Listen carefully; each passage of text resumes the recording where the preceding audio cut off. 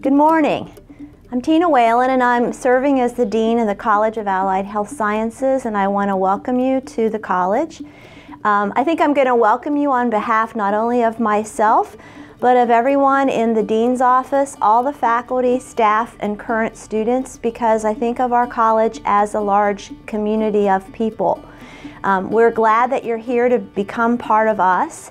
Uh, want you to know that the college has been here almost 20 years. We'll be celebrating our 20th anniversary in 1718 and we have a big celebration year being planned as we speak. Um, the college, though, many of the programs uh, existed prior to that for many, many years. So we might only be a college that's 20 years old, but many of our disciplines are well over 40 and 50 years old, depending on which discipline we might be talking about. I see, I see my role as a facilitator for you, um, helping to run interference to get the resources that we need to do our job. Uh, we want to be state of the art in this college. We want to be cutting edge. So anything I can do to help you be successful is really what I think I'm here for.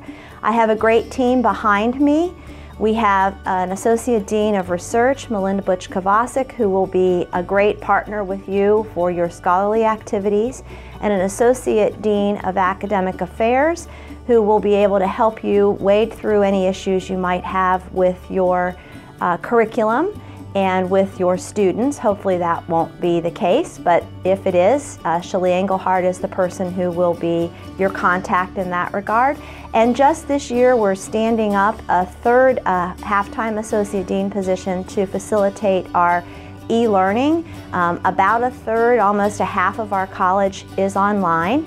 Um, and about half of our students come from there. So e-learning is a very important part of our college curricula and Shane Keene will be serving in that role. So even if you're not offering a course that's all online or a program that's all online, we expect you'll be using educational technology and with that you may be interfacing with Dr. Keene. He's a great resource in that arena and is a wonderful representative for our college on the larger university stage. So with that said, I just uh, want to let you know that I'm a very participative person. I believe in doing things with people, not to people.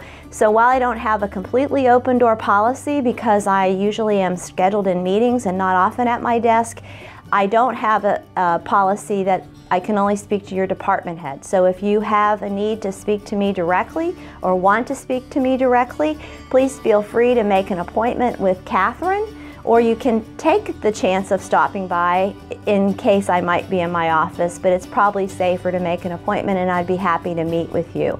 I do want to have a luncheon for all the new faculty and staff to just get everybody together and meet everybody and hopefully we'll be getting that set up sometime in the not too distant future a little bit later in the fall or the spring depending on when you come and, and join the college. But I would like to do one of those per semester. So I'll be happy to see you then, but I'm sure I'll meet you long before then. So welcome to the college, and if there's anything I can do to help make your transition smoother, just let me know.